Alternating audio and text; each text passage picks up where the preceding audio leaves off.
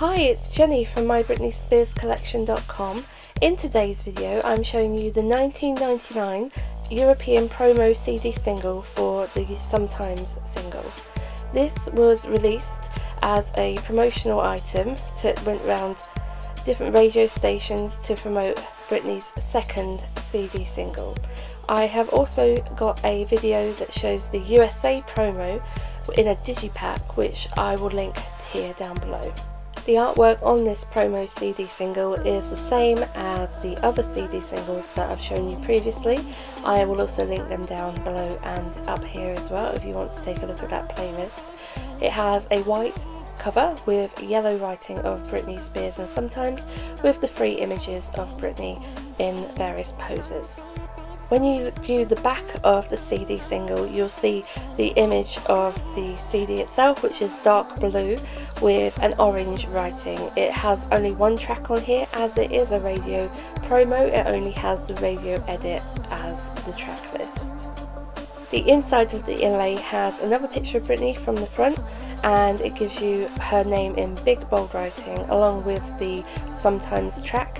It does tell you that it's got the radio edit on here as well with a little bit of information about Britney, Baby One More Time, just facts that could have been read out on the radio as they are promoting her second CD single, which were they were hoping to be as popular as her first. A closer look at the inlay shows you that the inside is completely blank, whereas the spine is blue with the orange writing. It does say at the bottom, for promotional use only, and not for resale. It also tells you the radio edit and the playlist, along with the Jive information, which I will show you a close up now. It's just got the copyright information and the Jive logo. When you turn the inlay around, as I said, they've got the picture of Britney here, Jive logo again at the bottom, and the information about the track. So you've got who wrote and produced the track, and it's also got a little bit of information that would have been read out. So it says it started with Baby One More Time, the record breaking single and album. It's got some information on her as well about how she's the first female artist to have a number one single and album at the same time and it also says sometimes lightning strikes twice.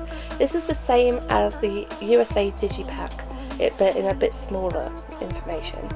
Now it also has here a catalogue number at the bottom of the CD 0523502 for promotional use only, not for resale on both the CD and the inlay so you know that this all belongs together. So there you have the promo European release of Sometimes. I hope you enjoyed this video. If you did, give me a thumbs up, leave me a comment down below, let me know what you think.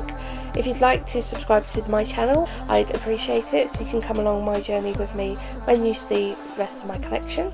And hit the bell if you want to know when my next video is coming out. Don't forget you can visit me as well at mybritneyspearscollection.com. And I hope to see you in the next video. Bye guys.